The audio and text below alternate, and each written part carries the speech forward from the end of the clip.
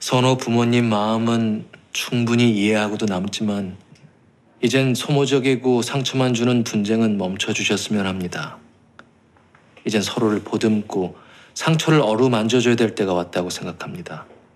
과거에 발목 잡혀서 한 발도 미래로 나가지 못한다면 그거야말로 너무 불행한 일 아닙니까? 뭔가 잘못하시는군요.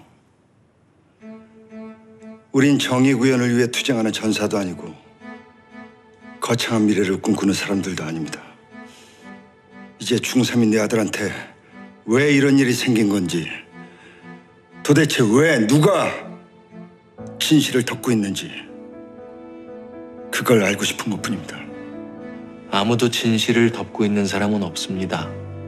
덮고 덮어서 아무도 못 보고 있다고 생각하시겠지만 찾으려는 사람한텐 보입니다.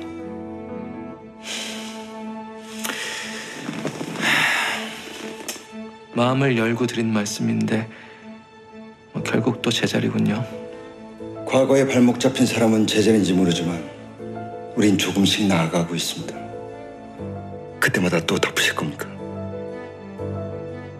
그럼 우린 또 한 발 나아갈 겁니다. 연설 잘 들었습니다.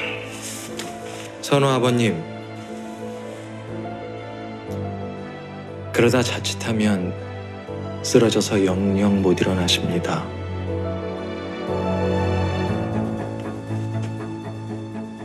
내가 쓰러지면 아내가 이렇게 세울 거고 아내가 쓰러지면 내가 이렇게 세울 겁니다. 둘 다 쓰러지면